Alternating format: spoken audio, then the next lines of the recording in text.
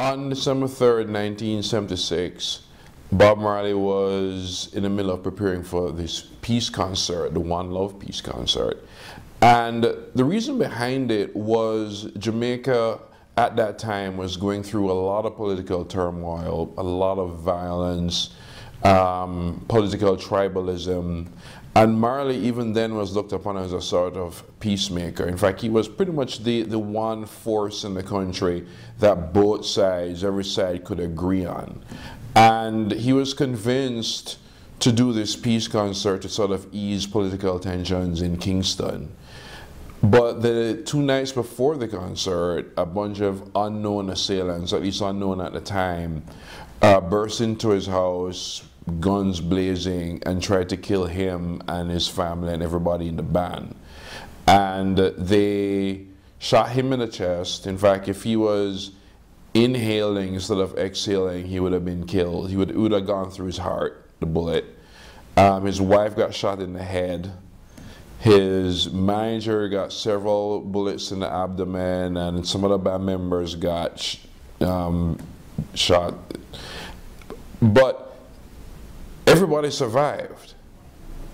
And uh, he went on to do the concert two days later. In fact, if you if you watch the footage, Rita Marley is on stage singing in her hospital hospital gown. So that's how you know how close to the event it was. But after the concert, Marley kind of disappeared. He vanished to the Bahamas. And the men who tried to kill him also vanished in one way or another. Um, and I've always been fascinated by that mystery of these people who committed probably the most um, blatant and violent and one of the most shocking events in Jamaica's history and what happened to them because they've turned into this brief footnote. And part of the reason for writing a brief history of seven killings was trying to imagine what happened to these men, why they've vanished from history, why commit something like that as well? Because if there's an unwritten rule in Jamaica, it was nobody touches a Tuff Gong, which is what we call Bob Marley.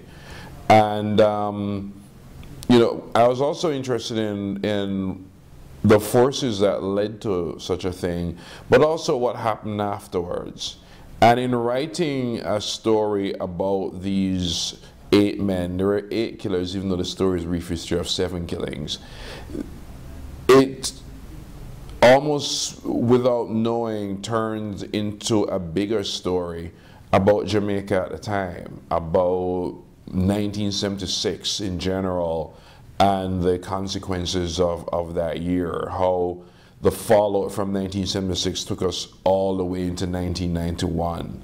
So the novel almost accidentally ends up being a bigger work, largely because by trying to capture an event that happened so briefly, it was barely five minutes that something so instantaneous, something so short, and something cut so short could have reverberations that go on through dozens of people and decades, really, to something that is actually, in a lot of ways, still unresolved.